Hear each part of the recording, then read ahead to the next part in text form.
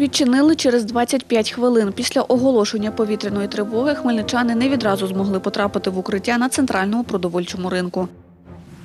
Конфлікт із агропідприємством житель Мар'янівки каже, постраждав через оприскування полів хімікатами. Не отримали щеплення через пандемію і війну. Хмельниччина долучається до національної кетчап-кампанії з вакцинації проти кору. Зараз тут світло, горить білим днем і всі двері відчинені. Але саме в це укриття центрального продовольчого ринку міста Хмельницького сьогодні під час повітряної тривоги о 5 ранку не попала хмельничанка Ірина. Ірина розповідає, після оголошення тривоги опинилася перед зачиненими воротами. Сьогодні під час повітряної тривоги, яка пролунала в 5.07 в Хмельницькому, я, як завжди, спускалась в сховище, яке знаходиться на продовольчому ринку. І сховище було закрито. Нас тут було приблизно чоловік 10. Е, Якщо почали від одних воріт до інших, всі ворота були закриті. Тільки е, з іншої сторони були відкриті ворота з сторони автовокзалу. І коли ми попали в сховище, пройшло 25 хвилин від початку тривоги. Ірина Ковалевська живе неподалік ринку. Каже, у це сховище під час тривоги спускалася щоразу без проблем, але не цього ранку. Я говорю, а чого ви не відкривали раніше? Я не чув. Отака була відповідь. Ще один черговий підійшов. Я говорю, а чому сьогодні були ворота закриті? Він каже, поки мені не позвонили. е, І він дав команди, то тоді відкрили ворота. Ну, пояснюю, що він не чув. Директорка центрального продовольчого ринку Наталія Борко підтвердила Суспільному, що після оголошення тривоги містяни не змогли потрапити на територію ринку. Відтак в укриття вчасно. Пояснюю. Містяни не могли потрапити на територію ринку зі сторони вулиці Вайсера по тій причині, що сторож, який відкриває ці- ворота, він занедужав. В той момент, коли е, він збивав тиск, якраз лунало сигнал повітряної тривоги, він фізично не встиг відкрити ці ворота. Проведено службове розслідування, відібрана пояснювальна. Ми свою відповідальність реально розуміємо і усвідомлюємо. Ну, таких ситуацій ніколи не повторювалося і в подальшому їх повторюватися не буде. Тетяна Ворожцова, Юрій Чорний, Суспільні новини, Хмельницький. Бачиш, он матуся йде. Дітей з цього, як і з решти дитячих садків Старокостянтинова, батьки забирають опівдні, каже вихователька ясельної групи Галина Сокірченко. За її словами, це пов'язано з повітряними тривогами, і в такому режимі заклад працює вже рік. Звичайно, ми за те, щоб садочок працював повний робочий день, але щоб це було безпечно, щоб ми знали, що дітки в безпеці і дорослі в безпеці. Мати дошкільниці Катерина Мишалова каже, її та ще 89 батьків дітей цього закладу такий графік роботи не влаштовує. Я не можу працевлаштуватися, тому що садочок працює лише 4 години. Діти сидять 4 години без е, сніданку. Е, Є лише перекус, за який платять батьки. Під час повітряної тривоги мені потрібно бігти за дитиною в садок і забирати її. Вихователька каже, забирати дітей під час повітряних тривог вирішили самі батьки. Батьки самі між собою домовилися, що їм краще забрати дітей, і дітей просто забирали. У цьому дитячому садку немає власного укриття. Тому управління освіти заключило договір із сусіднім навчальним закладом, аби дітей під час повітряної тривоги могли водити туди. Це підвал цього дитячого закладу. В ньому хотіли обладнати укриття та над всією його площею на висоті півтора метри труби теплопостачання. Комісія, яка перевіряла готовність сховищ, використовувати укриття не дозволила, каже начальник управління освіти Старокостянтинівської міської ради Анатолій Пасічник. Тому ми були змушені шукати поруч е, ті місця, де є укриття, і заключати договір.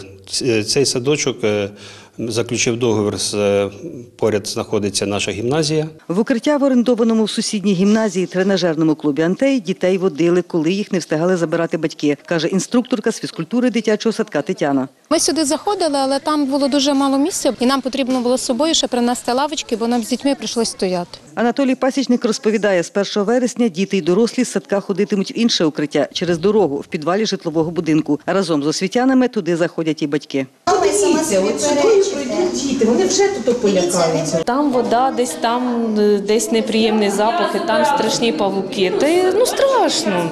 Укриття до початку навчального року мають облаштувати, каже заступниця начальника управління освіти Валентина Янзюк. Побілити е, за допомогою комунального підприємства Старокостянтинівська ЖЕК. Придбано е, два біотуалети, вогнегасники, медичні аптеки. Якщо тут гарно все пофарбують, е, облагородять його, і не тільки ці кімнати, а і ті, де вхід, де заводити дитину.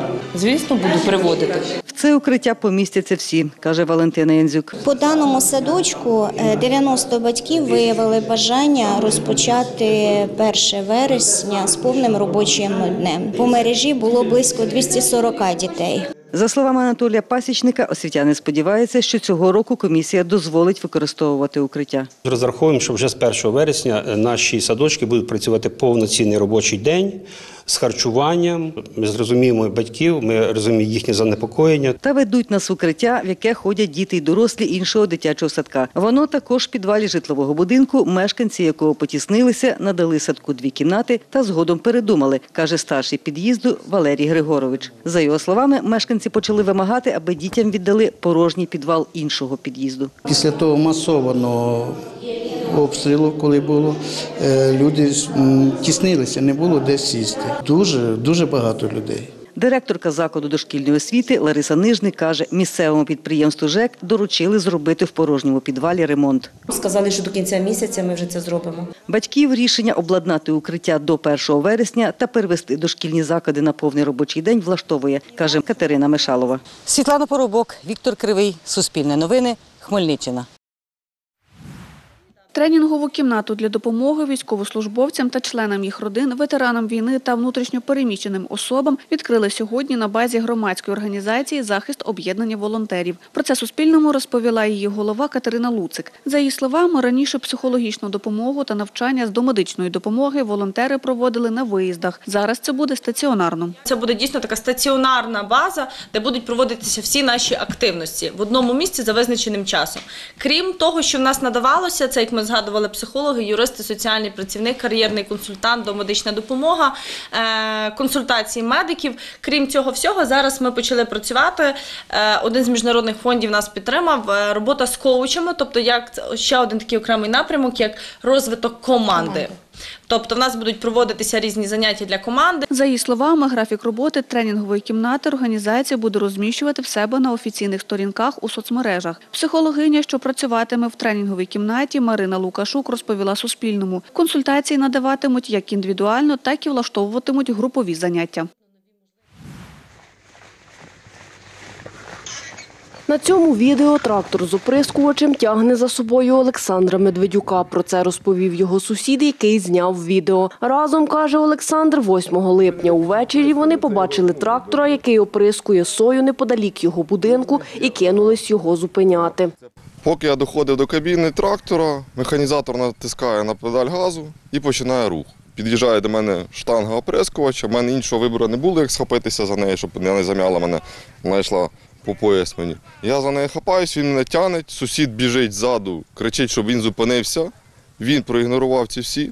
Мене протягнув, я ще зачепився цепочкою, протягнув мене більше кілометра. Там же я якимось чином е, злетів з того оприскувача. Унаслідок цього, стверджує чоловік, отруївся хімікатами, отримав забої шиї, грудної клітини та коліна. Показує відповідні висновки лікарів. Дружина Олександра Леся Медведюк говорить, в цьому будинку в селі Мар'янівка проживають два роки. Із агропідприємством Україна 2001 яке орендує поле поруч із будинком, каже, намагались вийти на діалог відразу ж, коли переїхали, адже не раз фіксували, що посіви обробляють не за правилами. На годиннику зараз майже 11 година дня, 22-23 градуси в тіні. Обробіток поля попри хату. Спочатку, каже, звертались особисто до агронома. Пізніше писали скаргу на електронну адресу, вказану на сайті, з проханням обробляти поля відповідно до санітарних норм. Але також ця скарга була проігнорована. Після цього інциденту, який стався, е, навіть не було просто вибачення елементарного, тобто таке враження, що нічого не сталося. Після того, що сталося 8 липня увечері, медведюки розповідають, викликали поліцію. На місце інциденту, каже Олександр, навідувався і керівник кластеру. Прокоментувати нам ситуацію він відмовився. Паралельно зі зверненням до правоохоронних органів, говорить Леся Медведюк, письмово звернулись до Міністерства аграрної політики. Отримали відповідь, що звернення розглядатиме Держпродспоживслужба. Начальниця відділу Хмельницького райуправління цього відомства Валентина Левчук говорить, підприємство відповідно до чинного законодавства та санітарних норм щонайменше мало заздалегідь попередити населення про планову обробку поля. повинні встановити попереджувальні знаки безпеки з зазначенням кінцевого терміну очікування на відстані 300 метрів від оброблювальних площ. І також всі роботи з пестицидами і агрохімікатами про- повинні проводитися в певні періоди або ранкові до 10 години, е, або вечірні з 18 до 22 години. Село Мар'янівка належить до Чорноострівської селищної громади. Її голова Михайло Дзійсь каже, агропідприємства надають селищній раді письмові попередження, що мала б зробити й Україна 2001. За три дні вони мали повідомити селищну раду про наміри проводити дану обробку поля. Такого е, в- повідомлення селищна рада не надходило. Через цей інцидент селищна рада скликатиме комісію для перевірки спільно з Держпродспоживслужбою. Крім того, наданий запит ТОВ Україна 2001 стосовно е, яким методом проводилося оброблення, коли саме проводилось оброблення і якими пестицидами. І тим більше, якщо це навіть е, проводяться такі роботи, то в нас має бути також назва препарату, яким обробляється, діюча речовина, і воно має бути обов'язково сертифікат на ту речовину, яким обробляється. Є адміністративна та кримінальна відповідальність. Е, В залежності від отриманих збитків, шкода здоров'ю людини та інше, Е, вона йде відповідно з чинним законодавством України. Е, Матеріали перевірок цих комісійних передаються в правоохоронні органи, органи влади. За словами начальниці сектору комунікації Нацполіції області Інни Глеги, за поданою заявою Лесі Медведюк відкрите кримінальне провадження за статтею 125 Кримінального кодексу України «Умисне легке тілесне ушкодження». Діана Колесник, Віктор Кривий, Суспільне новини, Хмельниччина. Хмельниччина долучається до національної кетчап-кампанії з вакцинації проти кору. Про це на брифінгу розповів Суспільному генеральний директор Хмельницького обласного центру контролю та профілактики хвороб, головний санітарний лікар області Микола Габрикевич. За його словами, через пандемію коронавірусу та повномасштабну війну на Хмельниччині не отримали щеплення близько 4 тисяч дітей. В нас в області в Україні є великий ризик виникнення спалаху кору. Спалах кору чому виникне? Тому що велика ймовірність є в зв'язку з тим, що великий відсоток дітей у нас є нещеплених в державі і в нас в області теж. Наразі ми е, маємо е, 69, якщо не помиляюся, і 74% щеплених дітей. Це мається на увазі в рік і в 6 років. І такі середні показники по Україні е, за цей період. Самі розуміємо, що війна і е, ковід, і він дещо збив ці, е, цей процес імунізації. Е, Така кампанія в наздоганяючій імунізації зараз вже розпочалась в Україні. І добре, що вона є. Вакцина в достатній кількості область забезпечена. За словами Миколи Габрикевича, до кінця тижня мають розподілити вакцину по медзакладах області. З понеділка, 24 липня, планують почати щеплювати дітей від кору.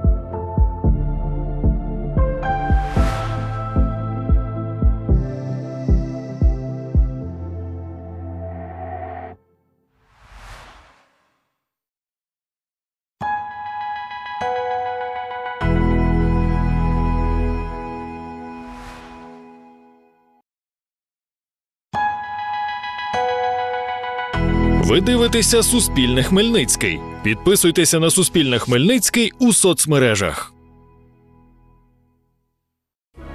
Час дізнатися найважливіші спортивні новини від команди Суспільне спорт. У студії для вас працює Юлія Пазенко.